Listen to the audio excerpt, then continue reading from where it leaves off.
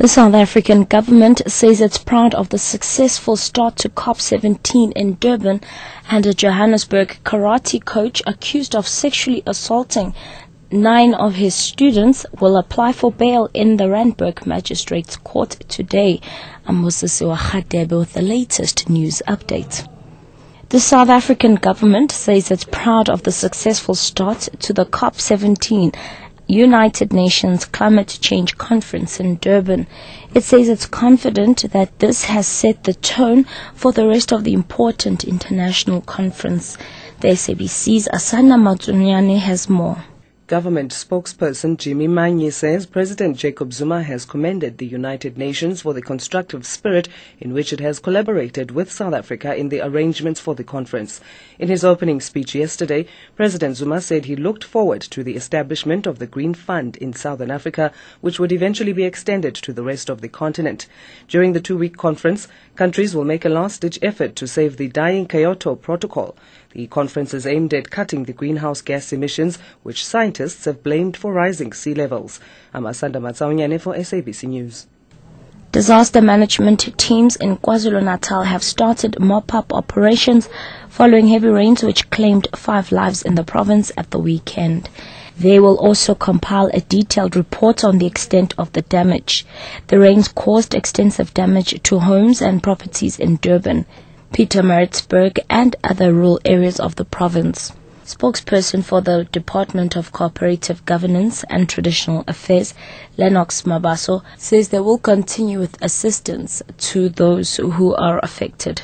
We are continuing with the mop-up operation to ensure that we conduct a detailed assessment so that a comprehensive report on the incidents that happened because we now are aware that it's not only in the area of Durban, but there's also some incidents reported in areas such as Peter Pietermaritzburg and the which are sporadic in various places. So we'll get a comprehensive picture possibly by tomorrow so that we can then be able to table the report and we understand fully the magnitude and the quantification of the damage. The trial of murder accused Thandi Maqubela and Vela Mabena will continue in the Western Cape High Court this morning. The pair is on trial for the death of acting Cape Judge Patrick Maqubela in June 2009.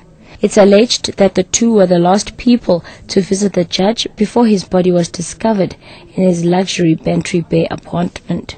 It's alleged that the two were the last people to visit the judge before his body was discovered in his luxury Bantry Bay apartment. His body was wrapped in a sheet and his face covered with a bloody pillow. Policeman Etienne van Eed, who was one of the first people on the scene, has testified that he did not suspect murder when he reacted to the call out. He also says there were no signs of strangulation. And lastly, a Johannesburg karate coach accused of sexually assaulting nine of his students at his studio will apply for bail in the Randburg Magistrates Court today. The hearing was postponed on the 18th of this month when the court heard that the students' parents were worried about the coach being granted bail. Investigating officer Joe Gobeni earlier testified that the students were attending counseling sessions.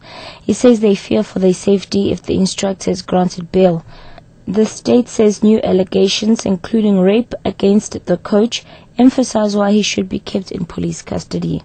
However, his lawyer Jacques van Heerden has denied suggestions that the coach is someone to be afraid of.